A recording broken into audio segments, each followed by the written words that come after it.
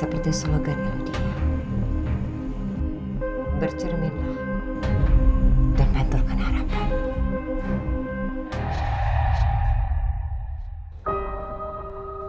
Kamu sudah punya teman baru. Bergabung dengan yang terkuat untuk memudahkan meraih impian.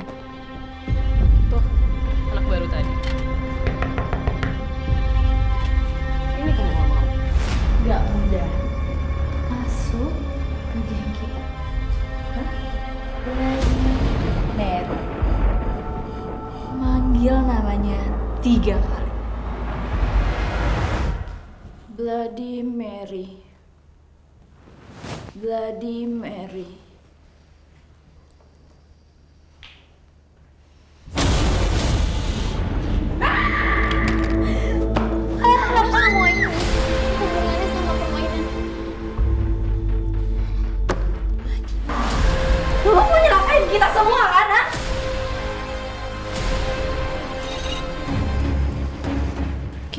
Segera bertindak sebelum ada korban lagi.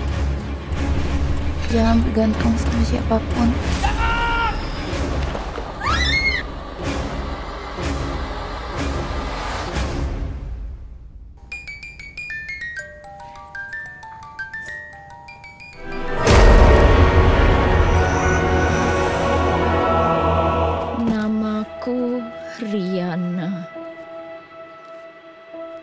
Sejak kecil aku tidak punya teman. Kedua orang tuaku sibuk bekerja. Suatu hari aku tidak sengaja membuat rumahku terbakar sehingga kami berpindah ke rumah Om Johan. Saat itulah aku bertemu dengan teman baruku, Riani. Jangan sentuh boneka ini. Riani tidak jahat.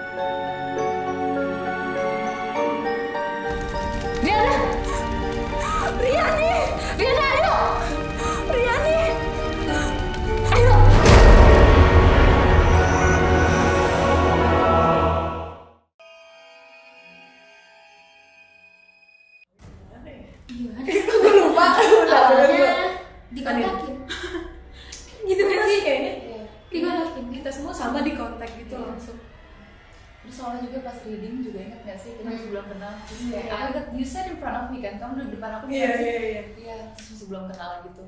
Iya kita semua Iya, belum kenal masih kecil. Kecil. Tiga tahun lalu. ya kita masih Tiga kecil ya.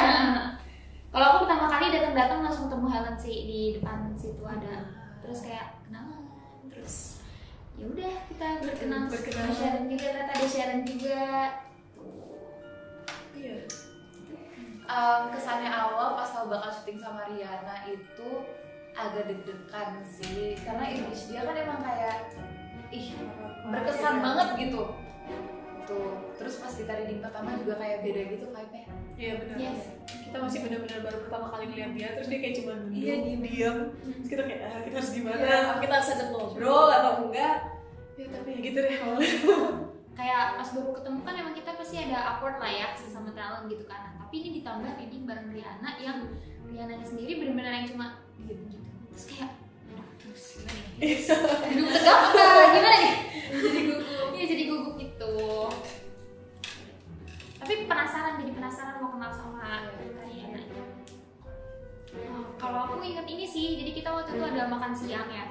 Terus makan siang terus boneka Riananya ternyata ditaruh pas banget bangkunya di depan aku makan gitu. Kan jadi kesannya kayak lagi lunch bareng sama boneka Riani gitu ya kayak, kayak gitu terus jadi kayak eh, ada rasa deg-degan sih cuma kayak balik lagi mikir "Enggak, itu cuma boneka itu cuma boneka. Makan aja makan. Mau aku suapin Riani gitu kalau kamu gimana? aku kesannya apa ya?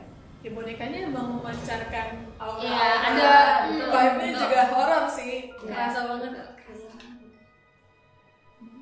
Sharon apa Ada belas kasih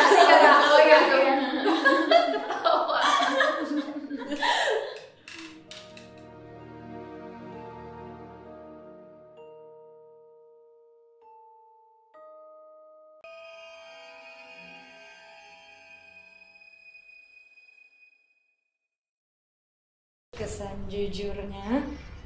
Yang kayak tadi aku bilang seneng banget karena eh, kalau yang kita tonton ya, eh, yang kita tonton gitu karyanya kan misterius banget ya. Dan emang aslinya pun juga misterius. Aku aku tuh kadang bingung ajakin ngobrol gak ya karyanya ini jujur ya. Aku tuh kadang bingung ajakin ngobrol ya gak ya. Soalnya waktu yang aku ingat dulu pas syuting aku tuh antara pengen nyapa dan enggak soalnya pengen nyapa. Tapi karyanya yang kayak aku jadi kayak oh my god. Tapi aku happy banget sih soalnya emang bener-bener seperti apa yang aku tonton gitu loh. Aku kira kan mungkin cuma ya udah ya udah aja yang orang tonton aja ya udah gitu. Tapi ternyata di belakang layar pun seperti itu. Aku tuh jujur kalau mau boneka-boneka tuh takut apa pun itu terus waktu itu pas di lokasi syuting aku sempet kan dikasih lihat boneka Yani speechless sih sebenarnya nggak ada nggak ada kesan atau pesan yang kayak gimana gimana soalnya emang takut gitu akunya juga yang nggak nggak terlalu mau gimana gitu loh.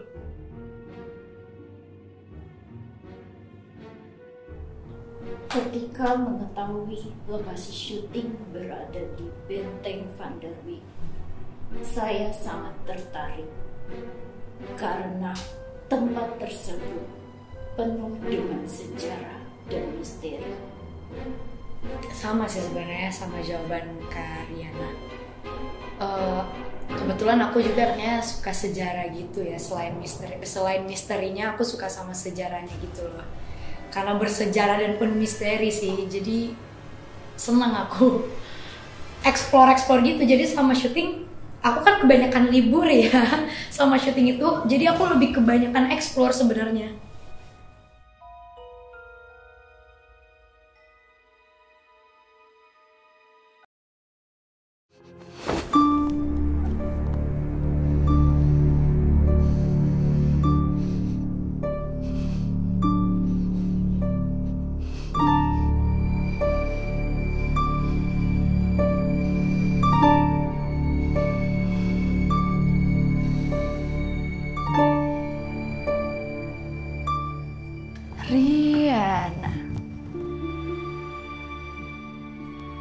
Elsa, kamu mau apa? Lo pikir gampang? Masuk ke geng kita. Hah? Gak semudah itu, Riana. Gak mudah. Tapi bukannya gak mungkin. Selagi lo mau, dan lo bisa nepatin semua persyaratan dari kita.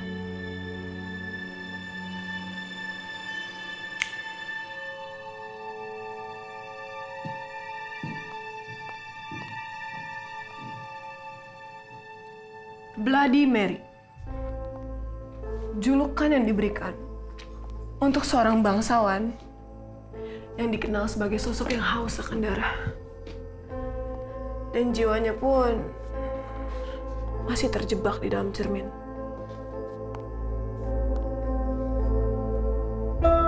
Gitu kejam dia semasa hidup. Sampai sesudah mati pun dia masih berusaha mencari cara untuk menumpahkan darah manusia. So, dia dijuluki sebagai Bloody Mary.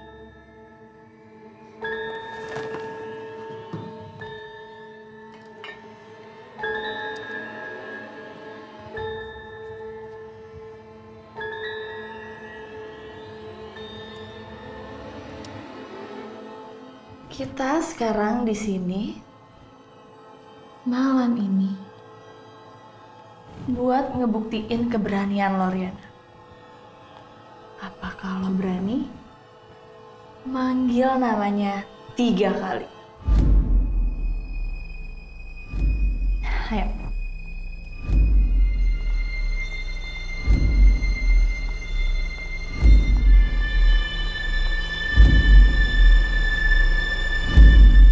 Sekarang, lo panggil namanya tiga kali. Dan kalau dia datang, lo jangan kabur.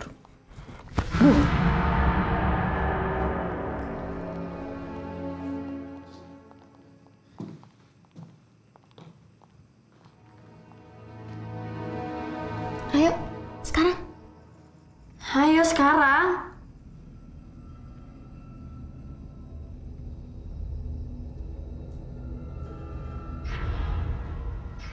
Bloody Mary. Bloody Mary.